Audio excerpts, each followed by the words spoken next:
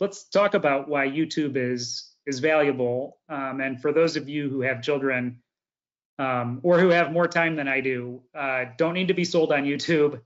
Um, YouTube's the most, the second most popular search engine in the world, behind only Google. Here's a crazy statistic.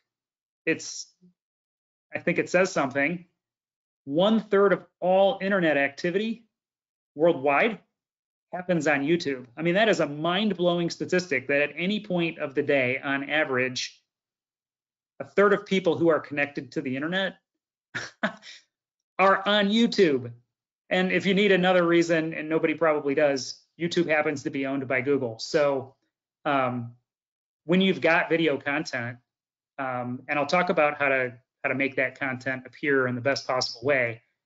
Um, obviously, push it over to YouTube, publish it at YouTube. Um, if you do that right, it'll nearly always rank well. And when you consider that YouTube is the second most popular search engine in the world, and a lot of a lot of people, especially younger people, are using it just like Google. Um, it YouTube does not charge to publish video content, and again, none of these places, none of these outlets are charging. Sometimes your website provider will have a fee. A lot of website providers will have a fee if you include or embed video content in your website. Many don't. We don't. Um, all of the all of the places that I that I referenced, all of these places, these are these are free outlets for your effective video content. And um, almost always, if you tag up video content properly, it'll rank high, and and generally it'll rank high and drive business for you for for months to come. Um, more examples of uh, you know publishing to uh, to YouTube.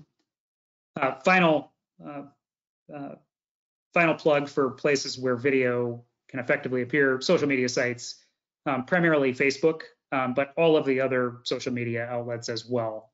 We have a lot of experience helping small business owners who don't want to have to manage their own social media practice inexpensively do that for them. And we always advise them if they've got video content or if we've built some video content for them inexpensively, get it published to uh, Facebook um, Facebook is probably the third most frequently referenced website in the United States still. Um, and people use it just like it's a telephone directory, same way that they now use uh, YouTube and the same way that they've been using Google for decades. And uh, Facebook is a fantastic container to show off your video content.